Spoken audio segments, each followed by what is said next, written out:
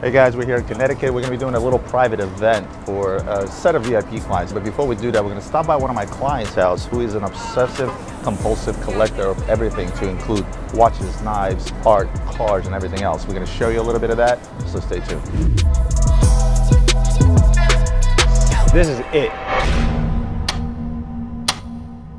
Guys, if you're enjoying our content, I ask you to please hit the like button. Also, if you're watching this and not a subscriber, make sure you subscribe. And last but not least, let us know what you like and let us know what you want more of. Let's get back to the video. So this is your section of the garage, basically? Oh, and over there. A dumb question. Did you have to like pay for all these spots? Of course you did. All right. One of my favorite cars. Mm-hmm. It's Alex's dream car. The V10 R8 is definitely one of my gold cars, but after I get the house. This is factory SL65A Black. Oh, 65 Black Series. Holy shit. have it in silver. This thi- this thing will blow blow the eardrums out of your ear. Yeah. What do you say this is, Adrian? It's a Bugatti. Oh, um, I wouldn't have guessed that. Well, f- me. That's a Bugatti. Yeah. 16.4 liter engine. When eight cylinders is enough, you double it. That's insane. Let's see. One way to find out. Oh, 599. 599. That's a GTO. Oh, yeah. Yeah. This is cool. Yeah. Is that you, Adrian? Yes. This, This is, is it. you, huh? Great car. This is it. I got something even better. Hold on, hold on. Let me, No, let let he's not- he's me not ready. see her ass real quick. He's not ready. Damn! This is this Yeah, is. I'm ready. Come on, this is. Okay, this is my dream car. oh, this is my this is this is my dream car right here. Color. This is this is the one. Like I'm gonna keep stuttering like uh, there's This something is it, yeah? this is it. This is this is it. This is That's the- literally his dream This car. is the one. We'll go out later. We'll take a ride. Yes. look at, look at, look Yo, at this kid. Look the- at him. I'm like a kid. This is the one. We'll always love you. Porsche 918, I am in love. I've been on record many times saying how this is my dream car. Okay, I just made a trade at TDF for this. I just made a trade. Holy shit, dude. No window. Oh my god. I have never seen this before. Now that we're done with the cars, we're gonna go upstairs to check out the rest. This is like sensory overload right now. The beautiful part about all this stuff is that it's money in the bank. A lot of the stuff is money in the bank and then some. So your main uh, concentration in terms of art, what would you say it would be? 20th century. Warhol. That's a real Warhol? So this is, it's a Picasso, but nobody can confirm or deny. Yeah, exactly. What do you mean? I- You didn't give it to like any like Yeah, uh, they, nobody. Nobody can. d- Somehow, you see this? Yeah. It throws everybody off. But that could have been done after. You know, I don't know. And Let's just let's pretend it is. It is. Picasso, Damien Hirst, Chagall, just to name a few, Miro. I mean, the art collection was absolutely amazing. But now let's look at some collectible shotguns, which is near and dear to my heart, which are a work of its art on its own. look at this case. Is that a cool? It's uh, polycarbonate case. Well, is this one of those um, cabinets? Cabot. Is it? It may be cabot. I have a bunch. Real quick, for those that don't understand what I'm looking at in terms of craftsmanship, I mean, like, Engraved. it's just it's just master film. master engravers that just Engraved in gold film. and gold filled. I mean, this is insanity. Price wise, average shotgun from them that's engraved. I mean, we're talking twenty thousand. No, no, no. 50s, 90s, 100. I mean, I thought I, w- I thought I This collected is some. that breed. This is like the top Italian, top top guy. This is an older one. I mean, I mean, this is the stuff that fetches all the money in auctions. It's it's and, and really a lot of the times, especially on the older stuff, you're paying for the engraver. In terms of hours on something like this, what do you figure in terms of hours? It's I mean, it's hundreds of hours of work. The engraving. And even Yeah, and of course, here come watches. Lots of watches. All right, so I don't even know where to start. Let's start here. This is just, I mean, look at the condition of this thing. It's insane. It's new. 20 years ago. It's new. Look at this. Not polished, nothing. This is just. Original patina left on the watch. Look at that. That is incredible. So one of the things that, as I'm looking at a collection, the very first, you know, we, we tend to, as watch dealers, it's like, you know, if you're a guy that sells shoes, you're going to judge somebody by their pair of shoes. If you're a guy that sells watches, you're going to look at the person's watch. But when you're looking at a watch collection, the very first thing that I absolutely love is the diversity in the collection. You're going to find a Swatch watch next to, you know, a million dollar Daytona, which is absolutely amazing. Look That just crispy shows. this, this Zenith uh, Daytona's. This is like as if it just came out of the store. Just a regular stainless steel 16520 Zenith. I mean, it's just like, look at that. I mean, it's just perfect. The moment of silence that we just had. Yeah, that was for the 3711 white gold. I've been doing this 20 years. This is the second time ever I've seen one physically. You know how rare that is? I know how rare it is, yeah. Right. Yeah. Just so on the same page. I had to take a second look at it because I've only seen two in person, 3711 white golds. You know, obviously they made a new 5811 now, right? Right. Which is which is a bigger case size. I'm like, what is this? Yeah, 37. For a second, I, when he when he handed it over, I thought it was a 5811, but then I realized yeah, it's, no, not. it's not. I'm gonna slide over and I'm gonna show some stuff that has a cool factor. And Patek pocket watches are probably some of the most underrated collectibles out there today because a pocket watch sort of lost its appeal in terms of use, usability per se, right? It's not as useful anymore. People don't wear pocket watches, but there's a lot of die-hard collectors that will still continue collecting these type of watches. Now, that's a piece of art in its own. Very Art Deco. This is probably 30s, if I had to guess. 5004 white, 5004, yeah. 5004 rose, No, not split seconds, yeah. 52, 5270. I can't see. Uh, this, I love the fact that you have that. I mean, the 5070s, you're missing a platinum. What the platinum he just he just explained to us. Okay. 5070 So, so this came in a set of four. There was a platinum version. My favorite is actually this, the yellow gold. And the reason I like the yellow gold the best is because of the black dial. Look at this, this, this was made for the Russian market, actually. And of course, Right. it's a Tiffany and Co. I'm happy to see earlier Urwerks in your collection because I think this is a brand that's on its way up. Now we have AP, Jorn, Breitling. And notice that in this collection, it's not just about a ticket item. It's not about how much something is, right? When you see quote unquote less expensive Panerais sitting out there here versus let's say some of the Pateks or Rolexes, doesn't mean anything because this gentleman buys what he likes. I'm gonna go through my favorite brand, which is AP, the Survivor, one of my favorite limited edition offshores. The IP with the platinum bezel. This is a limited edition of 20, uh, Japan edition, titanium offshore white gold royal oak. Uh, you Jorns, right? And you know what i like? I like the fact that he has all the sportier Jorns because the S, the sports line from Jorn is something like out of left field for them. And i think in the future these are going to be pretty big collectibles because there's just not that many of them made. This was the first produced uh, gold. gold watch from Panerai. They made it in white gold and they made it in yellow gold. This is the eight second Radiomir chronograph. Again, one of the earlier. I like the fact that you have all the early stuff. The first eight day power reserve is here. Uh, this was the black, Black seal. This is the first black seal. This is the one that has the submariner on uh, the submarine on a dial. Again, takes me back to my days. You know what else I love here? an Alain Silberstein. You don't often see people have an Alain Silberstein in their collection. It's a shame this guy didn't. I think this guy could have gotten a lot further than he did, but he was so ahead of his time that I think if, if he came out just 10 years ago, his watches would have been a humongous hit. I have one of his uh, clocks in my house. So considering the fact that this gentleman has never sold any watches that he's ever collected, me and Adrian decided to come over and try the impossible to see if we can try to trade him for something. And now it's very tough to wow somebody that pretty much has everything under the sun in every genre of watch collecting alone. But I think this might be something that he may say wow too. And maybe, maybe we can actually trade him out of something and actually leave this watch here. You ready for this? Do you know what this is? Audemars Piguet Royal Oak Offshore Grand Comp. It just so happens it's on an extra, extra large strap. What a coincidence, right?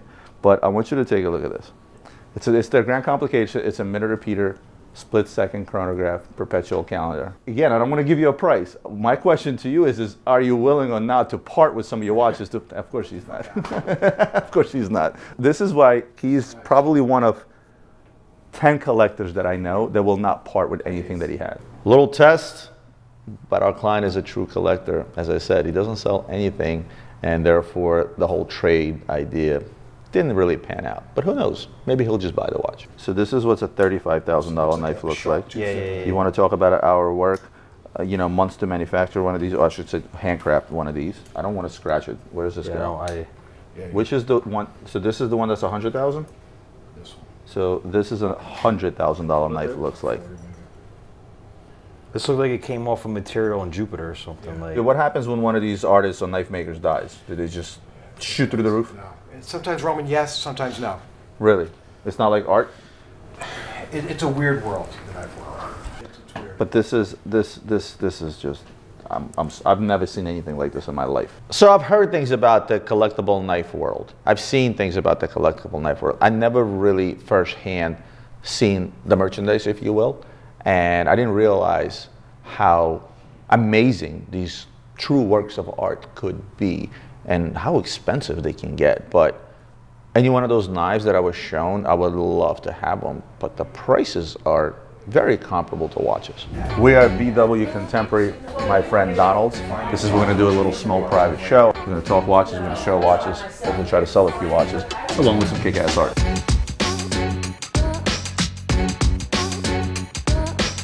We have a black one back at the office. What does that go? So a blue one goes, this, this particular one we're asking 55, a black one is about 45. Blue is always historically more money. Uh, I, That's my dream watch. I like the black. One. But it's black with the sub, with the silver sub dials. That's fine. But this is the, this this this is the watch. This Yeah? is the watch. Yeah, I love that watch. With the black dial. I don't like the blue. There you go. What I saw had all it was All black. Okay. Yes, yes. So th- they have a lot of different iterations of it. So this is a very interesting situation. We have a gentleman here who came up to the booth looking for a black Royal Oak Chrono. Funny enough, the one that we actually have that's in service right now is already pre-sold to a buddy of mine, but I do know that I could probably, instead of selling him the all black one, sell him this 26331 ST and make two trade deals in one. So this was the first automatic concept that they made oh chronograph. Oh, is that right? Yeah, most other concepts were manual wind, except till they came out with that one. And the rotor is actually in the front. So this is not manual. This is not manual. This is the only concept that's not manual. This is the first concept they made that's an automatic. Clear through there too. What's that? It's a skeleton. It's a full-blown skeleton. All right, we'll do that. That one is uh, 50,000. 2021, 50,000. So two seconds later, the watch ended up on his wrist. I was gonna say something, but I, I felt uncomfortable. But thank you for saying it. That's all right. Thank you. Uh, she's a good egg. She loves all that. Thank you. All of a sudden, look who walked in. Judge Jeanine on Fox News. She's a badass lady. Nothing they're doing is making a damn bit of difference. Well, I want something with a like a, a, a turquoise face or you know one of the colored faces. Do you know what I mean? Like the yellow with a colored face, yellow gold. Oh, yellow gold. I know exactly what you're, you're Yeah. looking for a day date. Yeah, Here's day what you- date, Here's yes. what you're looking for. I don't. We don't have it in stock, but I can. I can find it for you pretty easily. okay, I have to ask you for something. I need a picture with you for all my conservative friends back home. Do you mind? My pleasure. All right. Wait, what the hell? I'm not in this picture. My pleasure. Say, say, um, take a picture. So My what do you have? Is this in a 40? This is a 36. All right. Yeah, So they, they, this, they don't make this in a 40, so this is a 36 as well, same case. This is 36. Okay. This is a 36, for example. So what you're looking for is a 36 millimeter ro- yellow gold Yellow turquoise. gold, not Yeah, rose. Yeah. yeah. So this would be the same, yeah, same size. This one's good. The one with the diamond. Yeah, no, I definitely want the turquoise. Yeah. So, do you get the turquoise? I can I can get it at any time. If you give me a price and what the year of the watch is, Yeah, I'll, I can get it for you new. If there's any way I can get in contact with you, your people, can you just get it uh, how can I get it new? That's what we do. good. You let me know. I will. I will send you an email tomorrow with all the details. Okay. All right. All right. I'm Adrian, by the way. Adrian. Nice to meet you. Nice to meet you. Here you had Judge Jeanine telling me that when she went to Europe, she was looking for a very, very specific Rolex and she could not find it. Well, hopefully I could come to the rescue and lock it in for her. RM10 titanium. RM10. It's actually a really nice touch on the orange strap. You got one of the major ones. That, that's that's like uh, that, So he, so he is that. He is your same one. Rose gold diamonds. This is cool, man. Very cool. You want to buy it? I'm trying to figure out. Do you want to sell it? Maybe What do we have with it? Box papers. everything. I got it at Manfredi's. Box papers, everything. I can make an offer right now, the full set for eighty-five thousand. I get her. So here's a perfect negotiation with somebody. I think it's on eBay for 115. I'd like to get a 100. 100? He's not too far off from his asking price. And he had actually mentioned that he bought this watch at list when his local AD actually had Richard Mille. I think he ended up paying probably around $65,000 for that watch. So he got to wear it for about a decade and is still making money on it. I'm just interested, uh, when you were looking at it, what were you looking for?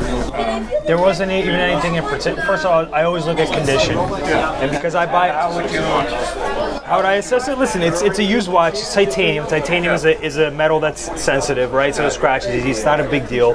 I was looking for anything that's like stands out that's a problem, which I don't see. The glass, I would need a loupe to check because obviously all the Rich- Richard Mille glasses stick up, easily banged, easily. But nothing really came to mind that's an issue for me condition-wise. Look, what I what I can do if you want to strike a deal, it's easy transaction. Should you want to do it. well, I'll, I'll text you. Yep. We'll uh, figure it out in the next uh, few weeks. How much is it? A million and a half. What? Which one? this one. Here, you, you can hold it. No, I'm not holding You drop it, you buy it. I'm not holding it. Oh my god. Skeleton. Wow. That's crazy. Here, Your Snapchat is about to blow up. Is there a tourbillon? Is that what you're on Snapchat? I have kids. I'm familiar with that. Is this all diamond? Crazy. I just like held Take the price of my house. take it back, take it back. Can I hold that one? Sure. Oh, well, this one is like a secret. Look, watch. Ready? I'm, uh, I'm Watch this. watch art show. Oh, that's so cool. And then it just opens up. That's so cool. So this is uh, once a year. What they do is they put out a high jewelry piece. They do one-offs. Of course, some came with their children, and these two kids come up to my showcase, and they're going absolutely bonkers over every watch, asking me for a price on like 100 watches, back and forth, back and forth. I love that. To me, that's a future collector. Let's talk about what he just bought. Every single meteorite dial is basically a piece unique on its own, right? It's a chunk of meteorite that Rolex uses in every one of their watches that are meteorites. So you're the proud owner of basically a piece unique. So congratulations. Thank you. Rolex literally uses a chunk of rock that they cut up and they put into their meteorite dial. So congratulations on this gentleman on his new purchase. And I would say overall, this trade show was very, very successful. A success to say the least. We're thinking about doing more of these. If we were to do a small pop-up show, something private, 30 to 50 people, would you guys come out? Let me know in the comments below.